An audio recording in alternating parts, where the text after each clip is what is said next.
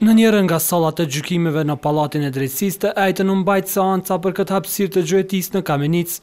Kompania austriake Feyerhand ka paditur komunën për shkak se po vlerëson që padrejtë nuk iu dha tenderi për dhënien me qira për dhjetë vite të vendgjuetive të Kamenicës. Kjo kompani kishte ofruar çmimin prej gjashtëdhjetë mijë euro që ishte më e madhe për pesëmbëdhjetë mijë euro nga fituesi i tenderit.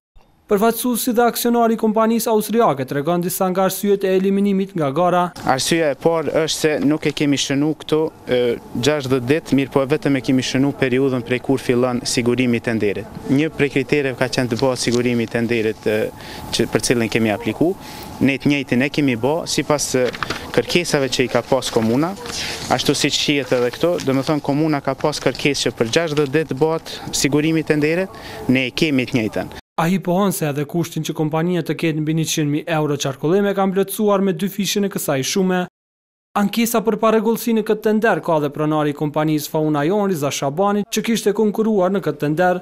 Ai pretendon se iu largua një dokument nga dosja që kishte aplikuar. Ma kanë thonë që je eliminu se ka partneri jot s'e ka deklaratë nën betim. Gjë që unë i kam edhe kopjet edhe këtu me veti, edhe ka qenë shumë e sigurt, jam shumë i sigurt që u konë aty, por E kanë fshef sepse ai është me thon drejtën ai për me pushtet është i fortë. Sipas tij kompania që fitoi këtë tender kishte mbështjetjen e ministrit për Zhvillim Ekonomik, Blerand Stavileci.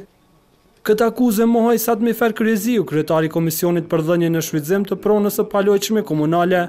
Ndërkaq sa i përket kompanisë austriake, ai thotë se nuk i plotëson të gjitha kriteret e duhura. Vlefshmërinë e tenderit prej gjashtëdhjetë ditëve nuk e ka pasen. Po. Nuk ka dorëzuar qarkullimin bankar të biznesit që është i regjistru në Kosovë. Po ka ka ka ka ka dorëzuar krejt një biznes tjetër që vepron në shtetin e Austrisë. I zhgënjyer që nuk arriti të investojë në Kosovë, u shpreh edhe pronari i kompanisë austriake, Hofer Kurt. Ai nëpërmjet postës elektronike i ka deklaruar Klanit se është i pakënaqur sepse Ministria e Zhvillimit Ekonomik dhe ajo e Bujqësisë i kanë premtuar plotësimin e kushteve për të investuar në Kosovë. Kurt fajëson Komunën e Kamenicës për dështimin e investimit të tij. Vendimi i Gjykatës Themelore lidhur me këtë rast pritet të jepet në fillim të muajit mars.